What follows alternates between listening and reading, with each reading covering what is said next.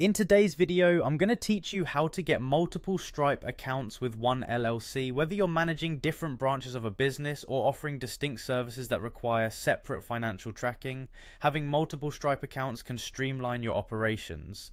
Let's dive right into the step-by-step process. First, head over to stripe.com. Once you're on the homepage, you need to click on the sign in option, usually found at the top right corner. This will take you to the login page where you will enter your email and password. Make sure you have these credentials handy, ensuring they are secure and private. Once you've entered your information, click on the sign in button to access your Stripe dashboard. After successfully logging in, you'll be directed to the home page of your dashboard. Pay attention to the upper left corner of your screen where you'll see default sandbox. Click on this as it is a key step in branching out into multiple accounts. Next, you'll find an option to create new account. Click on this option to begin setting up your additional Stripe account.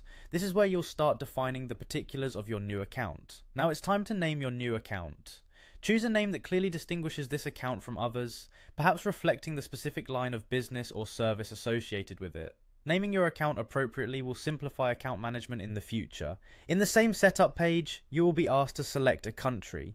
Choose the country where your LLC is registered or where your primary business activities are conducted. This is important because account features and regulations can vary based on the country selected. After you've named your account and selected a country, you can move forward by clicking the Create button. This officially creates your new account and you'll see it appear under your existing accounts within your dashboard. The setup doesn't end here. Take the time to fill out all the additional details needed for your account. Stripe will ask for information such as your business's address, tax details and bank information. Providing accurate and complete details here will ensure seamless financial transactions and compliance with local laws. Finally, once all the necessary information has been filled out, you can proceed to activate your account. Activation is the final step in making sure your new Stripe account is ready to handle transactions independently from your other accounts. And there you have it.